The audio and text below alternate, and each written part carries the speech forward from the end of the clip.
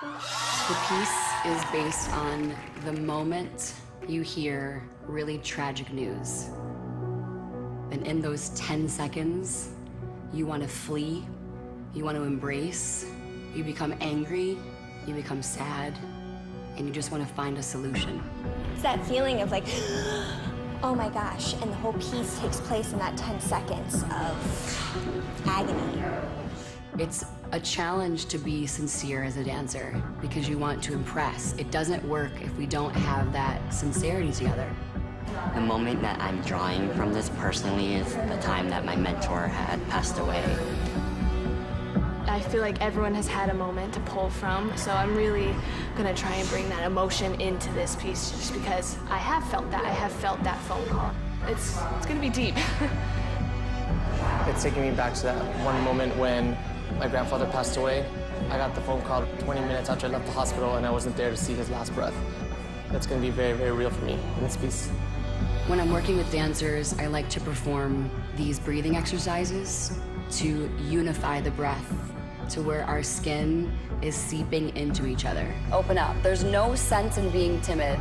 And that way, somehow, it just becomes honest. Team stage, I want you to go out there not only remembering your intention, but embracing it, surrender to it, and let it go.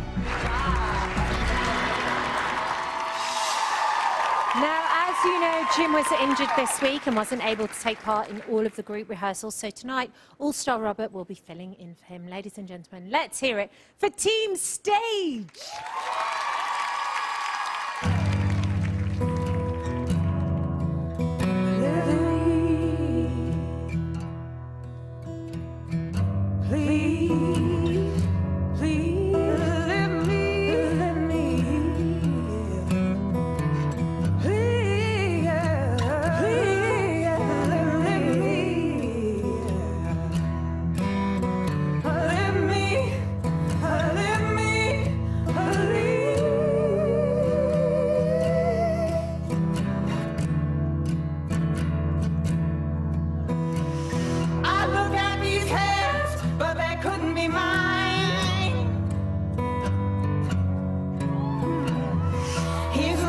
my face, the thing in its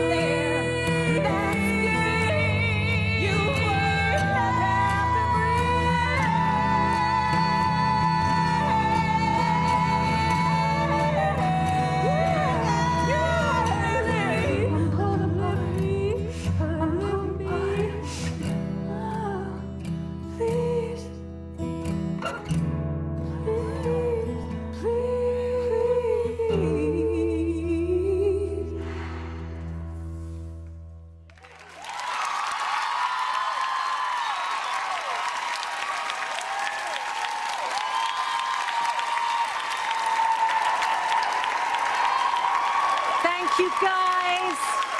And welcome onto the stage, Travis. Here he is, the team captain. Come and head over here for me, guys. Well done. Well done, well done.